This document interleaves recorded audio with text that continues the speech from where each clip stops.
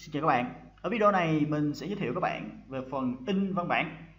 Không phải lúc nào cũng có thể xem văn bản trên máy tính hay thiết bị tương tự, mà cần in ra giấy. Ha, có thể vì một lý do khác nên cần in ra giấy hoặc là một số cái loại vật liệu khác. Các bạn nên xem về bài chỉnh lề trang, định hướng trang và bài kích thước trang để tiện à, thao tác với bài in văn bản này ha. Nội dung chính của bài này, thứ nhất là in văn bản, thứ hai các thiết lập khi in văn bản thứ ba à chỉ có hai phần thôi, nhưng trong cái phần thiết lập in văn bản bao gồm thiết lập số bản được in ra, thiết lập những trang được in và thiết lập khác về trang văn bản. Đầu tiên, mình đi vào phần in văn bản, mình có một đoạn văn bản mẫu. Rồi, để in văn bản của bạn, cần làm theo các bước sau đây sau đây ha. Mở văn bản bạn muốn in. Đây, mở rồi, mở sẵn luôn. Ha. rồi, bạn chọn file, chọn print file print qua đây. Hoặc là phím tắt Ctrl B mình sẽ ghi phím tắt ra ha. Được chưa? Đây là phím tắt Ctrl B ra giữa cho bạn coi. Rồi. Rồi tùy các bạn Ctrl B nó quay qua này. Thường người ta dùng phím tắt nhiều hơn. Thì kết quả là cái cửa sổ print xuất hiện. Ừ, cửa sổ print xuất hiện. Tại đây ta có ba vùng chính để thao tác trên văn bản. Đây là nơi chứa nút lệnh in và số bản in. À, đây là nơi chứa các lệnh thiết lập văn bản và các lựa chọn khi in à, rồi đây là khu vực xem trước.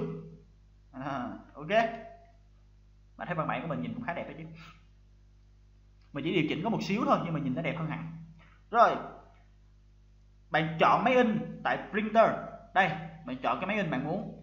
Vì mình không có kết nối với máy in thực cho nên mình chỉ, chỉ có những máy in dạng fax dạng PDF dạng Microsoft XPS Document Writer Stand to Note bla bla bla nhiều cái như thế này. Thì tạm thời mình chọn sẽ là print to PDF để có một file PDF để mình mở lên cho các bạn coi bản in của mình. Coi như đó là bản in trên giấy ha coi như đó là bản in trên giấy. Chưa? Rồi chọn print để bắt đầu in. À. rồi in. Khi mà chọn bắt đầu in rồi ha nó sẽ bắt đầu hiện lên để cho bạn lưu cái văn bản in của bạn nằm ở đâu mình sẽ lưu ra desktop cho dễ kiếm ha. In. Rồi, mình lưu lại ha. Được chưa? Save. Rồi, bạn thấy hiện lên status của nó nè. Rồi, in xong. Bạn đây, bạn mở lên được nè. Bạn coi. Xem thử file file văn bản in của ra của mình như thế nào. Đây chính là file mình in ra được. Khi ra giấy nó cũng sẽ tương tự như thế này nha. Khi ra giấy nó cũng sẽ tương tự như thế này. Cho nên bạn đừng lo lắng rồi. Về sau bên trong đây nếu như bạn có nếu như bạn có máy in bạn chỉ việc chọn máy in của bạn thôi là được. Ở đây mình không có nên mình mới chọn pdf. Lưu ý nha. Rồi đây khi in ra giấy nó sẽ ra như thế này. Thấy đó. Ok. Rồi tiếp theo là thiết lập những cái trang in. Thiết lập những trang được in. Bạn không muốn in toàn bộ. Bạn không muốn in toàn bộ văn bản mà chỉ muốn in những trang nhất định. Thì hãy làm theo những cái sau đây ha. Tại cửa sổ in. À, vậy mở cửa sổ in lên bạn chọn những trang được in tại mũi tên màu đỏ. Đây, đâu rồi? Bạn chọn những trang được in. Đâu, trang nào? Bạn chọn trang nào? Bạn chọn là ring color pay hay là custom ring hay là bla bla bla. Bạn chọn nè mình chọn là in tất cả bay ha. Hoặc là bạn có thể chọn in bay gì đó. Bạn sẽ chọn là in trang một, trang ba. Rồi. rồi, thử nha. Ring thử coi rồi, ghi đè luôn. Yes. Rồi, quay trở lại xem phải chỉ có trang một, trang ba không? Trang một. Trang hai, trang ba. Ôi, nó in hết rồi. Không đúng. Quay lại quay lại. Con chữ b. Rồi, chữ in này. Bỏ. Ủa đúng mà tắt mình để đúng mà ring. Rồi, mình chọn trang. Có thể là do mình chưa chọn nó không chịu vậy. Thì bạn có thể tùy chọn nếu như bạn chọn ở đây là on base, là in toàn bộ trang văn bản, bring current page là in cái trang hiện tại, là trang mà bạn đang đặt con trỏ nha.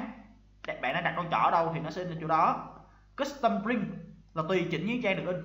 Custom bring rồi, only print out page là chỉ in những trang lẻ. Only print even page là in những trang chẵn. Rồi, thì tùy chỉnh những trang được in nha mình nhập những trang được in tại ô base những trang được in viết cách nhau bởi dấu phẩy, hồi nãy mình chưa viết. Ha, giả sử bây giờ mình in trang 1 và trang 3 như thế này, thấy không? Rồi, những trang được in liên tiếp nhau, liên tiếp viết cách nhau bởi dấu ngang. Những trang được in viên liên tiếp viết cách nhau bởi dấu ngang. Giả sử bạn có 100 trang, bạn muốn in trang từ 50 cho tới 100 thì bạn ghi 51 52 53 hả? Ai làm như vậy? Bạn sẽ làm như thế này gạch ngang một cái 100 có nghĩa là từ 50 tới 100 được không? Đơn giản đúng không? Rồi giả sử mình muốn lên trang 1 trang 3 rồi trang uh, trang 1 trang 3 tới trang 10 đó sẽ dạng như vậy. Ha, đơn giản thôi rất là đơn giản. Rồi bây giờ mình thử nha mình thử in trang 1 và trang 3 1,3 ok print. Mình tìm tới đây mình ghi đè. Ok rồi xuống đây mở lên coi. À, cái này trang một ha. Xuống đây. Mất khúc rồi mất khúc giữa rồi. Rồi nếu mà cần mình sẽ đánh luôn số trang cho các bạn dễ nhìn ha. Mình sẽ đánh luôn số trang. Mình sẽ insert đưa footer vào hoặc là chọn uh, here. Rồi mình chọn bay number. Tên là bay chọn ở đây đi. Rồi ok. Vậy thôi. Rồi bây giờ bắt đầu quay qua đánh số trang cho bạn dễ coi ha. Hồi nãy mình đã in trang một trang ba rồi. Giả sử mình in một tới ba theo cách này đi. Không chọn on bay nữa. Cho dù biết là chỉ có ba trang mình không chọn on bay nữa. Mình ring à, vô. Ok. Rồi mở thử. Trang 1 nè trang 2 nè trang 3 ok. Chưa? Đó là mình đã thử cho các bạn cái cách in chọn trang. Rồi sắp xếp các trang được in thì sao?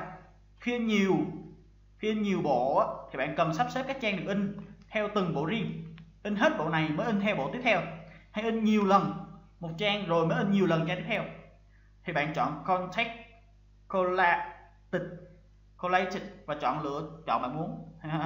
Rồi bây giờ chọn chữ B. Và bạn chọn collated và chọn lựa chọn bạn muốn ha.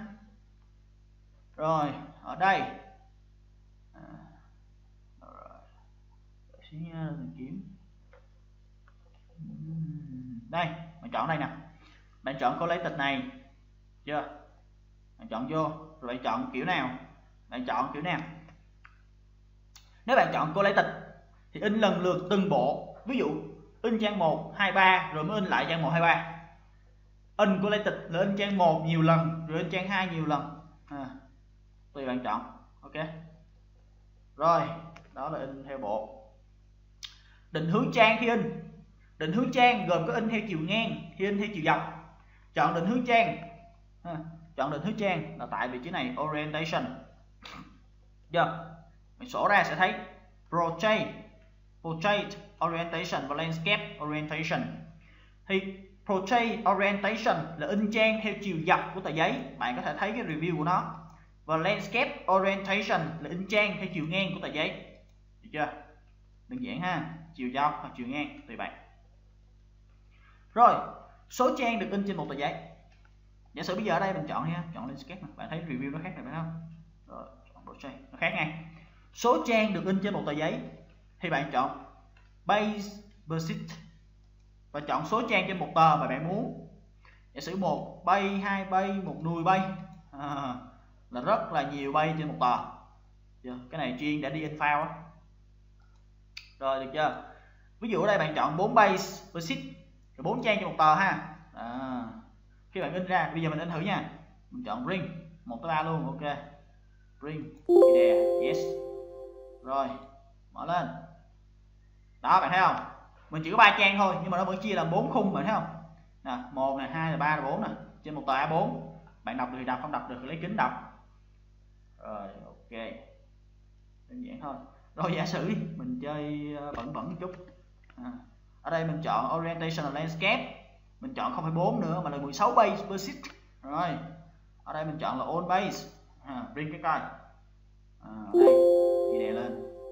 Rồi sau khi in xong mình mở lên coi. U cha nó nhập tiếp theo bạn thấy không? Rồi bạn từ cái này bạn chỉ cần cắt khúc này ra bạn mang đi làm file là được. Nó là cách để bạn in. Rồi ok mình sẽ không chỉnh lại cái uh, uh, landscape mình để vào portrait mình để một bay versus rồi tiếp.